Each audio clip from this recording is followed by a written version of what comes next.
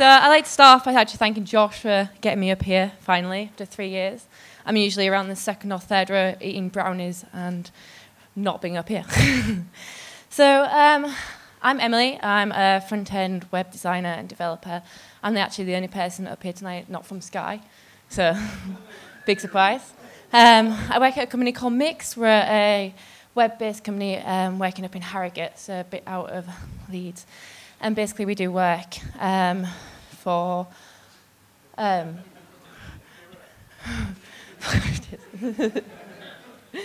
yeah, so we work with a lot of public sector um, people. So we do a lot of work for the NHS, um, educational sector, and um, other bits and bobs in between. But really what I want to talk about today is how I got into the industry.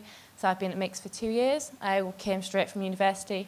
So I've been here for, well, so like two years straight out of uni. And um, I've been from a developer into a designer. So it's just about what I want to talk today is about my creative process, what habits I picked up along the way, and how I changed my bad habits into good habits, and basically how I could recognize my habits. But yeah, so I don't have all the answers, so this is just my habits, how it worked for me, making it quite personal. Um, so yeah, I just wanted to start off by talking about a habit. So early on when I was thinking about my creative process, and I needed to make the connection. So obviously, habits basically just make up my day. So the steps I take to get about how I come across a project, how I be creative, and how I can get from A to B with a project. So a habit just obviously it goes into a process.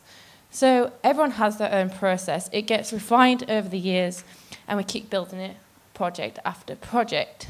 So when I talk about a creative pro process, I feel like every designer likes to keep their process a secret, like it's a kind of secret recipe that everyone has in order to create their magic they have on the screen. So I feel like we need to kind of break down this barrier, talk about process more, talk about our habits more, and how we can refine these and essentially grow and share it with other people. Um, so beginning when I was trying to understand my process, I wanted to focus on this word habit and what it actually means. So the word habit comes from habituate, which basically means to custom by frequent repetition or prolonged exposure. It means basically we just get used to something after being long around it for a period of time. So when we do the same work, we get used to it. We keep fitting in, we're doing it day after day. Um, we're in with our company, we're working with frameworks, and we have a set way of working basically. So this is kind of the opposite to uni. So when I was at university, I was really used to just going, being free and um, creating anything I really wanted to do. Um, I didn't really have any restrictions. When you come into a company, you um, you really you have these restrictions, and it's kind of different from being able to have a clean slate and um, come about stuff from different angles. Um, but that's not usually bad. Sometimes picking up habits can be really good. So we learn from copying people, and though there's more experience than us.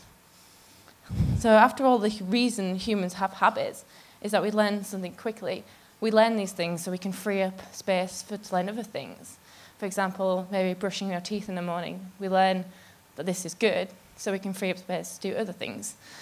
Um, so sometimes habituation isn't bad, isn't good. Sorry, um, we need to really figure out what the bad things are so we can focus on the good. Um, this is a talk, obviously it's a TED talk because I'm speaking and I needed inspiration. Um,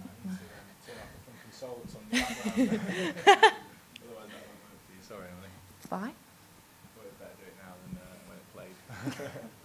I don't mind a bit of funk and soul.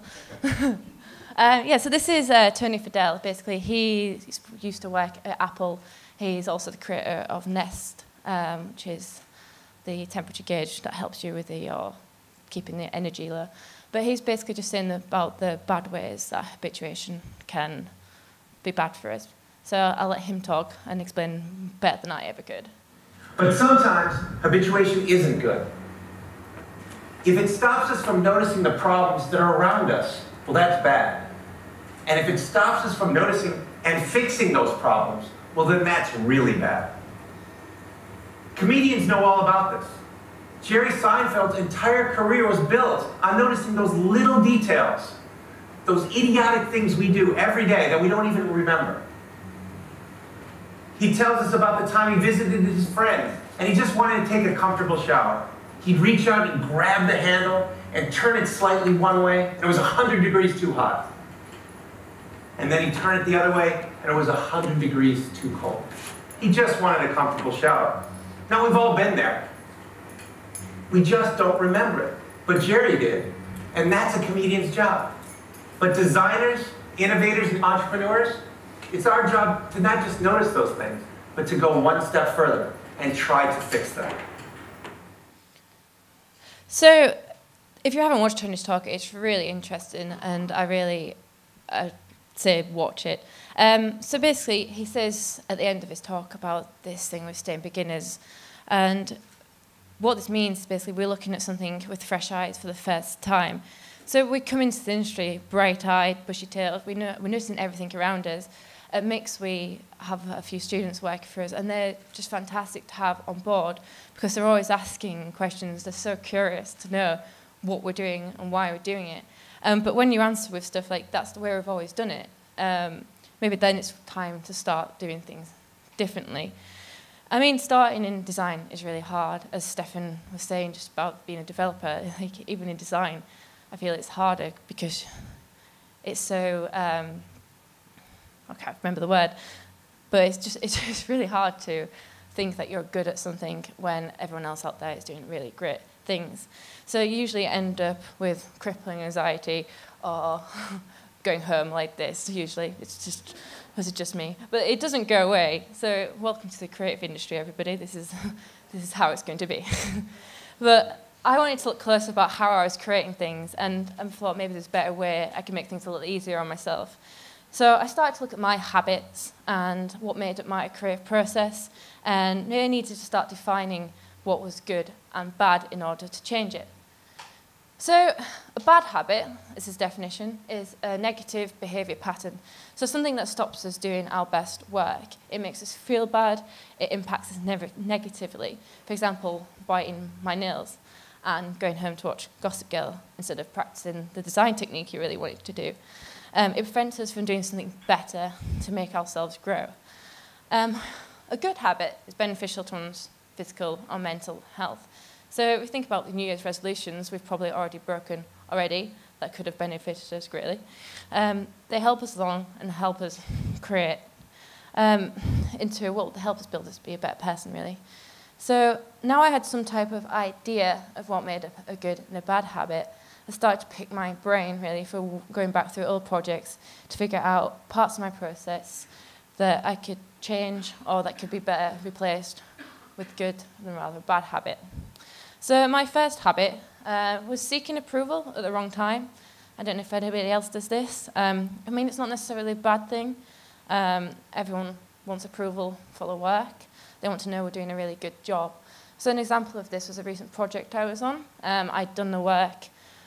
I'd been with the client. I knew exactly kind of what we needed to do. Um, however, I asked an opinion at the wrong time. So, and out of context as well. So instead of waiting a little bit longer and actually getting an opinion which was based on something, then does this look okay on this page? Um, I actually took someone's opinion who higher up than me, who I respected, took it for gospel and didn't really question it, didn't question my own knowledge, just kind of dismiss, dismiss my own findings over someone who I thought knew better. And that really wasn't good because in the end I realized it's very wrong for me to do that because I knew the project. I knew and had knowledge of what I was actually meant to do. I knew the user, I knew what they wanted to do, and I'd been with the client, basically. So it was an out of context opinion, really, that filled me with self doubt. Um, and it just needed to change. I needed to replace this with a better habit. So, good habit number one that came out of that was trust your own opinion and knowledge. If you've been in that project and you know what you're meant to be achieving, don't let someone else come in and just tell you with their eyes. I mean, it's great having opinions, and obviously people higher up will know better than you. But it's knowing when to one ask and um, ask for opinion, and what about. So if I had waited a bit longer and just asked someone after I'd got a lot down, maybe asked a more in context question, such as does this colour um, palette really represent the user's needs? Well, user's needs, the brand they're trying to achieve. Um, I could have had a better opinion. So in the future, I need to be back at my opinion with some knowledge. Um, yeah, obviously don't be afraid to ask for help as long as you, if someone says why they think that, just be back it up with you and findings and your own knowledge. So the next two habits, um, I'll wait a bit longer to give um, my good habits too, because they kind of go hand in hand. So my bad habit number two was using existing projects as a base to start from. I mean, why, why wouldn't you? Um, you know it's worked before, it's already been built, you can reuse the components again, and it's a quick job, everyone's happy. Um, it's like going to your favourite restaurant. So you know what meal you're going to have. You don't need to figure out anything else. You know it's right for you. So reusing components isn't necessarily a bad thing. Um, if you're working with a framework, we do mixed. Um, stuff can be copied, and it's great. We can work with a framework and everything, such as NHS work, we get to do it as we know the user needs it. So, but I realized I was kind of recycling the same thing, but that was really bad. Though I needed to stop and think fresh. But one for what worked for one client might not work for the next, and I was relying too much on previous knowledge rather than trying new things. So this knowledge of elements that I've worked with, that was great, but then reusing them in exactly the same way isn't so great. So the client really deserves something tailored to their needs and their users. I mean, it's like trying to make a square fit into a circle. It just might not fit for that right client. So my other habit was what I like to call overthinking blank page anxiety, which is looking at a blank page and thinking, oh my God, why am I here?